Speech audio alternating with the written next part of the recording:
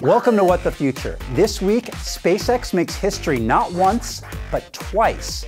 Your dream of becoming a Jedi Master becomes a step closer to virtual reality and a hotel room that picks you up at home.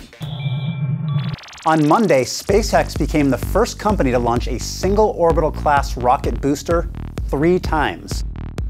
The Falcon 9 rocket launched from Vandenberg Air Force Base in California. Once it reached orbit, the rocket delivered 64 small satellites for various companies and organizations. Now, that's a record number for a US-based rocket. The first stage landed safely on SpaceX's drone ship stationed in the Pacific Ocean. Now, being able to reuse a rocket is key to Elon Musk's vision for space travel. He's trying to do it more frequently on less money. The final version of the Falcon 9, called the Block 5, is designed to be used 100 times. This is the VR experience you're looking for. Engineers at Virginia Tech call this force push. It gives those of us who haven't spent years training in a Jedi temple the ability to manipulate faraway virtual objects. Now it's true, we've seen this before in video games, but do you notice anything different here? These guys aren't holding controllers or wearing special gloves. They're using their bare hands. And it's not thanks to an unusually high midichlorian count. The technology uses leap motion to track hand movements. Then, the objects respond to the speed and magnitude of hand gestures in a way that's intuitive for the user. Engineers built the environment and the Force Push interface in the Unity game engine. They used an Oculus Rift CV1 for the display.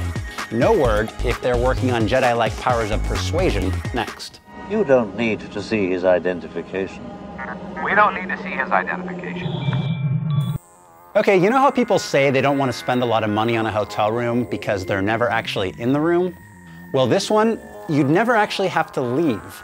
It's a concept for a self-driving hotel room. Because why walk across the Golden Gate Bridge when you can see it from the comfort of your bed? The idea comes from a Canadian design studio, and it's pretty simple. Say you live in Seattle and you want to visit Los Angeles. Call the hotel room like you would an Uber, and the room comes to your door and takes you to your destination. It includes everything you'd expect, a shower, a desk, a minibar. You can even get your Amazon Prime deliveries through the roof, if that service ever takes off. Now, once you reach your destination, the room would connect to a larger suite that's part of the company's hotel network. The company says the hope is to improve inner city travel.